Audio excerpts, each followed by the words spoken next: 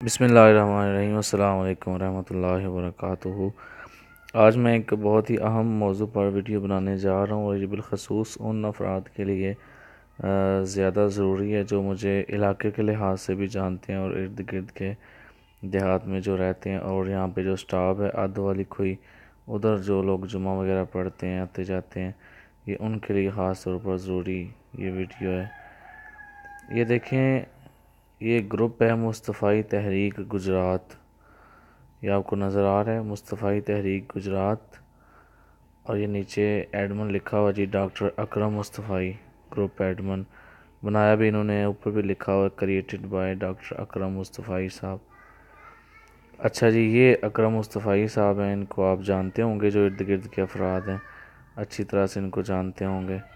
یہ اس گروپ کے اندر اکثر یہ ریاض شاہ پنڈی والے جو ہیں ان کی تقریریں اکثر بھیجتے رہتے ہیں، یہ بھی لنک آپ کو نظر آ رہا ہے۔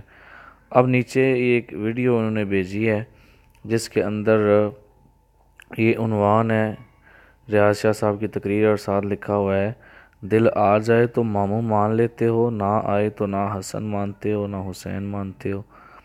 پھر اکرم مصطفی صاحب لکھ رہے ہیں، قائد علیہ سنت علامہ سید ریاض حسین شاہ جی کا رات شہید اعظم کانفرنس سے تاریخی خطاب۔ اب اس کے اندر حضرت میر معاویہ رضی اللہ تعالیٰ عنہ کے متعلق یہ الفاظ استعمال ہوئے ہیں۔ دل آ جائے تو ماموں مان لیتے ہو، نہ آئے تو نہ حسن مانتے ہو، نہ حسین مانتے ہو۔ اور اس میں اہل سنت پر جو ہے نا وہ کڑی تنقید کی گئی ہے۔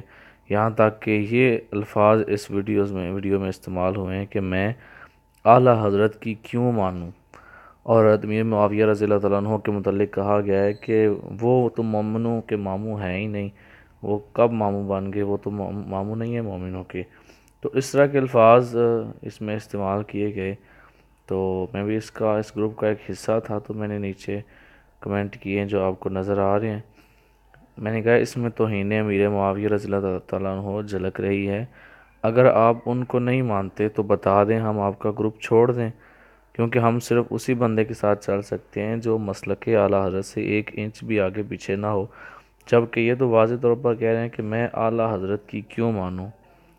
اب یہ ڈاکٹر اکرم مصطفی صاحب بجائے اس کے کہ مجھے جواب دیتے کہ ہم مانتے ہیں یا نہیں مانتے، انہوں نے آرام سے جناب میں نیچے آپ کو نظر آ رہا ہے، doctor Akram Mustafa removed you. انہوں نے مجھے ریموو کر دیا ہے۔ اگر وہ حضرت امیر معاویہ رضی اللہ تعالیٰ عنہ کا بغض دل میں نہ رکھتے ہوتے تو پھر وہ پہلے نمبر پر تو ویڈیو سینڈ ہی نہ کرتے، دوسرے نمبر پر جب میں نے کہا کہ اس میں توہین امیر معاویہ رضی اللہ تعالیٰ عنہ جھلک رہی ہے تو پھر وہ مجھے اس کا جواب دیتے کہ ایسا نہیں ہے۔ جبکہ واضح طور پر یہ دیکھیں نا، نیچے لکھا ہو جبکہ واضح طور پر ریاض شاہ کہہ رہے ہیں کہ میں اعلیٰ حضرت کی کیوں مانوں؟ مطلب کہ وہ اعلیٰ حضرت کو نہیں مانتے۔ تو اب ایسا بندہ اگر ہمیں جمعہ پڑھائے اور ہماری میجورٹی جا کر اس کے پیچھے جمعہ پڑھتی ہے اور اس کو وہ بہت ہی دینی لحاظ سے نا جناب سپورٹ کرتی ہے کہ جناب ڈاکٹر صاحب تو اکرم مصطفی صاحب کی تو کیا بات ہے۔ میرا اللہ جانتا ہے کہ مجھے کوئی ان سے ذاتی بغض یا ذاتی اناد نہیں، لیکن بات حقیقت اور عقیدے کی ہے۔ میرے اعلیٰ حضرت فتح رضویہ شریف کے اندر لکھتے ہیں۔ کہ جو حضرت امیر معاویہ رضی اللہ تعالیٰ عنہ پر لانت کرتا ہے، وہ دوزہ کے کتوں میں سے کتا ہے۔ اور امیر علیہ سنت پیر الیاس قادری صاحب مدض اللہ علیہ آپ فرماتے ہیں کہ جو عقل کسی بھی صحابی پر تنقید کرتی ہے، وہ عقل میں اپنے گھر کے گٹر میں بھی کیوں ڈالوں؟ میرے گھر کا گٹر بھی اس عقل سے پاک ہے۔ وہ عقل اس قابل نہیں کہ میں اس کو اپنے گھر کے گٹر میں بھی جگہ دوں۔ تو اگر اکرم مصطفی صاحب کے دل میں سید حضرت میر معاویہ رضی اللہ تعالیٰ عنہ کا بوس نہ ہوتا تو اول تو یہ ویڈیو سینڈ کرتے ہی نہ ظاہر انہوں نے خود سنی ہے تو پھر آگے شیئر کیا اور ٹائٹل سے ہی پتہ چل رہا ہے۔ اور پھر اگر ایک دفعہ ہم اس بات پہ تھوڑی سی چھوٹ دے بھی دیں تو آگے جا کر جو میں نے سوالات کیے تھے ان کا اخلاق کے ساتھ جواب دیتے کہ جناب ایسا کچھ نہیں ہے۔ لیکن انہوں نے آرام سے ریموو کر دیا میرا اللہ جانتا ہے مجھے کوئی مسئلہ نہیں کہ مجھے ریموو کیوں کیا۔ یہ دیکھیں میرے اتنے گروپس ہیں اس ٹائم بھی کہ اٹھارہ چیٹس جو ہیں ان کو میں نے ابھی اوپن بھی نہیں کیا ہوا، اتنے زیادہ۔ مجھے کوئی مسئلہ نہیں کہ مجھے گروپ میں ایڈ کیا جائے۔ میرے بے شمار گروپس میں میں ایڈ ہوں، مجھے کوئی مسئلہ نہیں کہ مجھے گروپ سے کیوں نکالا ہو مسئلہ یہ ہے کہ ان کی جو سوچ ہے اگر وہ نہ ہوتی اس طرح کی تو پھر وہ اس طرح ہرگز نہ کرتے۔ ویڈیو کو اصلاح کی نیت سے سنیے گا۔ صرف میں نے عقیدے کے، ایک اہم عقیدے کو چیز سمجھتے ہوئے یہ ویڈیو بنا رہا ہوں، تو اس کو واقعی صحیح معنوں میں نا اصلاح کے طور پر لیجیے گا اور فائدے کے طور پر لیجیے گا اللہ تعالی۔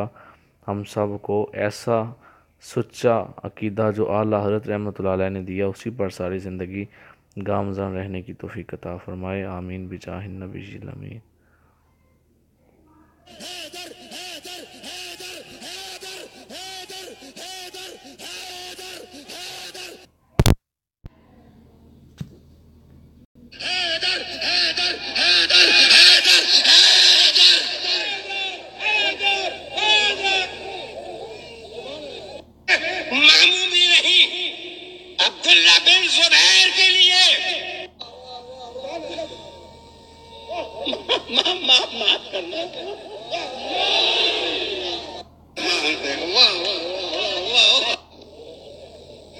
میرے حسن کا نانا ہوگا میرے علی کا بھائی ہوگا تم لوگ بھی واہ واہ لوگ ہو دل آ جائے تو مامو مان لیتے ہو دل نہ آئے تو نہ حسن مانتے ہو نہ حسین مانتے ہو واہ واہ واہ واہ واہ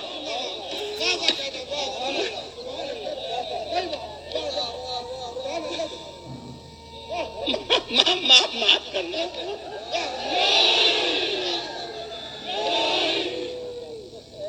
حالانکہ وہ رشتے میں ماموں بھی نہیں حالانکہ وہ رشتے میں ماموں بھی نہیں۔ عبداللہ بن زبیر کے لیے۔